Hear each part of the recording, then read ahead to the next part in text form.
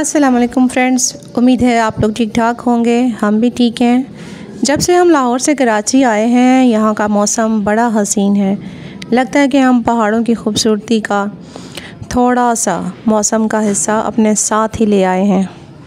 बाहर का मौसम अच्छा हो तो मैं अपने पोर्च में लाजमी आती हूँ थोड़ी सी रिकॉर्डिंग करने के लिए तो आप लोग भी देखें।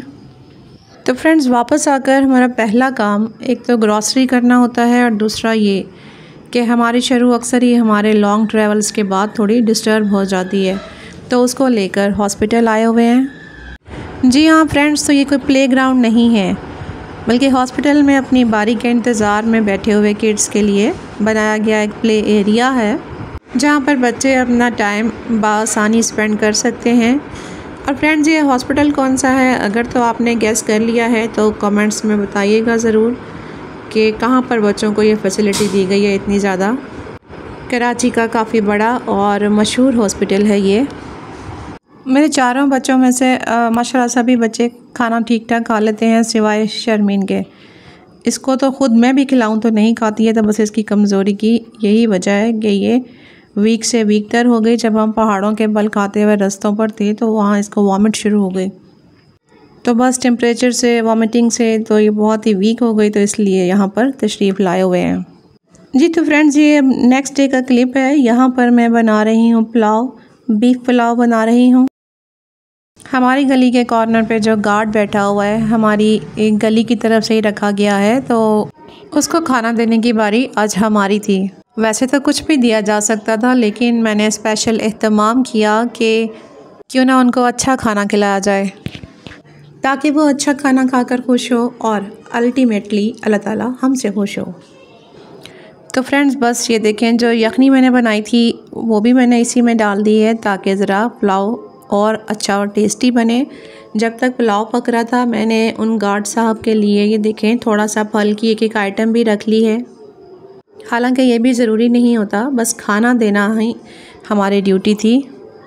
लेकिन वो कहते हैं ना कि हम कौन सा अपने पल्ले से दे रहे हैं? हमें उस अल्लाह ने दिया और हम आगे दे रहे हैं। तो यहाँ फ्रेंड्स मैं तो अपना काम कर रही थी किचन में और मेरे साथ साथ किचन में थोड़ा सा गन मचाया हुआ था रोहान चौधरी ने भी, देखें। ये अपने लिए ओरियो केक बना रहे थे। पहले इन्होंने एक छोटा सा केक बनाकर अपनी बहन शरू, शर्मीन को दिया, फिर एक अपने भाई के लिए बनाया और अब ये अपने लिए बना रहे हैं। और ये कब से, जब से मैं किचन में आई हुई थी, तब से ये भी किचन में ही खड़े हैं। मेरे साथ और इनको बहुत शौक़ हो रहा था अपने लिए ये सब केक बनाने का। और माशाल्लाह इन्होंने बड़ा अच्छा केक बना भी लिया। अपने घर में हों तो बच्चे इस तरह की एक्टिविटीज़ में भी अपना टाइम गुजार लेते हैं। और कहीं और गए हों, किसी और के घर में बैठे हों तो थोड़ा बंदा रिज़र्व रहता है बस। तो ईस्ट और वेस्ट तो होम इज़ द बेस्ट वाला फार्मूला मुझे तो बहुत पसंद है। हमें अपने घर में ही आकर सुख और सुकून मिलता है। तो यहाँ जब तक चावल रेडी हो रहे थे फ्रेंड्स मैंने थोड़ी सी चटनी भी बना ली थी। धनिया और पुदीना इसमें मिक्स किया था कि पुलाव के साथ थोड़ी चटनी भी दे दी जाए, पूरा दावत का अहतमाम कर दिया जाए। और लें जी, यहाँ देखें रोहान चौधरी का केक छोटा सा तैयार है। वो ख़ुद इसको अब इंजॉय करेंगे और माशाल्लाह अच्छा बेक किया है। बिल्कुल भी कांटे के साथ चिपक नहीं रहा। लें जी, ये देखें, मैंने उन गार्ड साहब के लिए बाकायदा एक प्लेटर तैयार कर दिया है कि वो खुशी से इसको खाएँ और इन्जॉय करें और हो सकता है हमारे लिए कोई दुआ करें। तो बस फ्रेंड्स खाना शाना खा के फ़ारग हो के तो हम निकल पड़े थे जी बहरिया टाउन की तरफ़। और यहाँ पर क्यों आए हैं, आपको थंबनेल देख के इलम हो ही गया होगा। यहाँ पर हम लाए हैं आप ही को। थोड़ा सा उनका ड्राइविंग का मूड हो रहा था कि मुझे ड्राइविंग सिखाई जाए, मुझे ड्राइविंग सिखाई जाए। हालाँकि अभी नहीं सिखाना चाह रहे थे हम। तो बस थोड़ी सी ड्राइविंग की नो हाउ के लिए कि क्या चीज़ है ब्रेक कहाँ है और रेस कितनी देनी है या जो भी वट एवर उसके लिए बहरिया टाउन ले आए हैं क्योंकि यहाँ पर सड़कें खाली मिलेंगी हमें। और ये बहरिया टाउन का मेन एवेन्यू है। यहाँ पर मुझे लगता है कि ये मेन एवेन्यू ही ब्यूटीफुल है। ये ऊँची ऊँची बिल्डिंग्स और ये खुली, लंबी सड़कें। इसकी खूबसूरती में इजाफ़ा करती हैं और बिल्कुल ऐसे ही लगता है कि जैसे हम कहीं दुबई में फिर रहे हों। लेकिन सिर्फ़ ये मेन रोड तक ही खूबसूरती है। बाकी इनके पीछे उसी तरह से आम घर बने हुए हैं, उसी तरह से लोकेलिटी है, लोग रहते हैं, आबाद है। और मुझे भी यहाँ का सिर्फ़ ये मेन एवेन्यू ही पसंद है, जो कि मैंने थोड़ा सा क्लिप लिया या फिर ये बहुत खूबसूरत बनाई गई एक मस्जिद।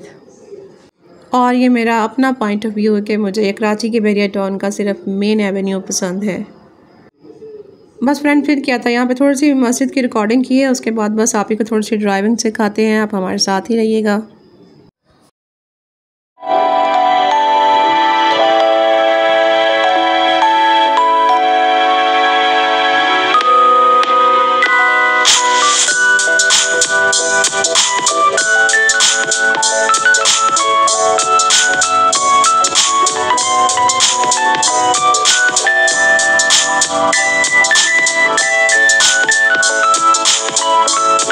तो जी फ्रेंड्स यहाँ पर गाड़ी कर दी थी हमने आप ही के हवाले तो अब देखें, अल्लाह ताला करम करे हमारे हाल पे भी और आप ही के हाल पे भी।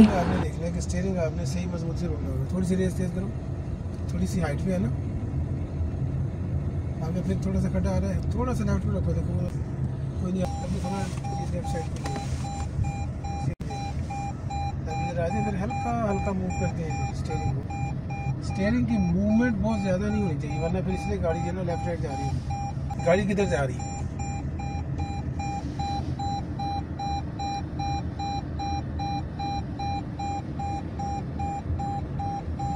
अभी तो की इंग्लिश की बुक में एक स्टोरी हुआ करती थी हिज फ़र्स्ट फ़्लाइट तो सेम लाइक ये, हर फ़र्स्ट फ़्लाइट मुझे टाइटल याद आ गया अपनी बेटी के लिए। तो बस फ्रेंड, बहरहाल अच्छी ड्राइव की बेटी ने फ़र्स्ट टाइम गाड़ी चलाई थी, लेकिन सही चलाई। इंशाल्लाह उम्मीद है कि वो अच्छी लर्नर बनेंगी, अच्छी ड्राइवर बन जाएँगी। तो फ्रेंड, जब हम घर आए तो ये एक ऑर्डर किया हुआ था हमने। बड़ा ही ये जो मशहूर ऑयल आप लोगों ने भी देखा होगा हेयर फ़ूड मंगवा तो लिया है मैंने तो अब इसका रिव्यू मैं दूँगी आपको नेक्स्ट वीडियो में, या उसके भी बाद, थोड़ा इस्तेमाल के बाद। कि कहीं गंजे होते हैं या फिर थोड़ा सा ये अच्छी थेरापी है बालों के लिए। तो बहरहाल कश्मीर विज़िट के बाद, लाहौर की टूर के बाद ये पहली वीडियो थी। उम्मीद है आप लोगों को अच्छी लगेगी। तो बस लाइक और शेयर कीजिएगा और इसके साथ ही मुझे दुआओं में याद रखें। अल्लाह ताला हम सब पे अपनी रहमत करे और अपना करम करे। तो फिर मिलेंगे इन किसी और नई वीडियो में। इसी तरह की एक्टिविटीज़ के साथ। तो अल्लाह हाफिज़।